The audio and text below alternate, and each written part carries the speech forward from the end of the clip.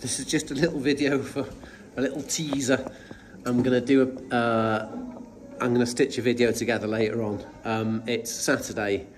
We have been riding about 45 minutes and it is absolutely freezing. We've just stopped at a little cafe and I've got a hot drink here and I've just ordered four pieces of toast. Um, oh, it's brutal. They've got we're on this mountain range and there's we're just nibbling at the snow line and I'm not prepared for it and the weather's not supposed to be like this in um, what month are we in? End of April, beginning of May. I'm finding this today tougher than yeah, tougher. Than, I don't know. We had, me and Ash had some tough trips on Morva Malaga, but pff, this is brutal as well. Anyway, I'll come back to you later. Extreme weather requires extreme measures.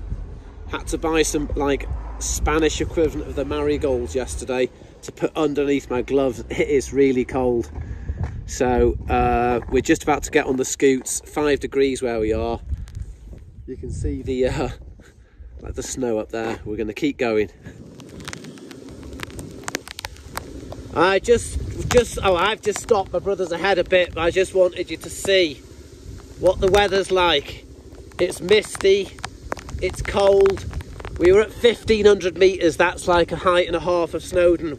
I guess we're probably down at about a thousand metres now or 1200 metres or something like that. But it's wet, it's cold, it's windy. You can see with the cars there, visibility is low, but that's how it is. There's a couple of things I wished I'd got. One is more layers and the other one is my is my Oxford hot hands which DT recommended ages ago but I thought we don't need it, we're in Spain. So there we go. These days are like the days of Noah. I might as well look. Soaked, soaked all the way through. It is brutal. No, This is there is bubbles. his his shoes are bubbling, his feet are just wet like sponges. It is horrendous. I, I know I keep going on about it. I think this could be some of the worst riding weather I've ever ridden in my life. Anyway, second cafe stop. Here we come. Restaurant Hostel Oliver.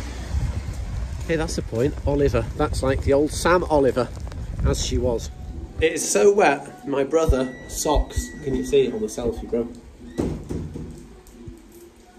Look. This is my socks. I've been wetter than wet.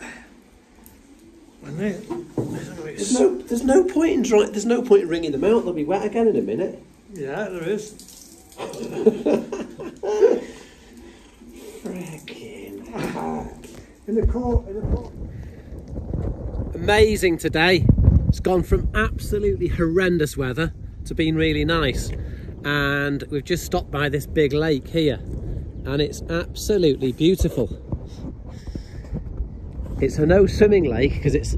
I think they're all a bit like that in Spain because it's a reservoir, but it is very warm, and uh, there's a few people here fishing, but you could always go up there and have a little discreet swim. My brother's over there having a sleep because he's tired. There's the scoots. But it's absolutely beautiful here.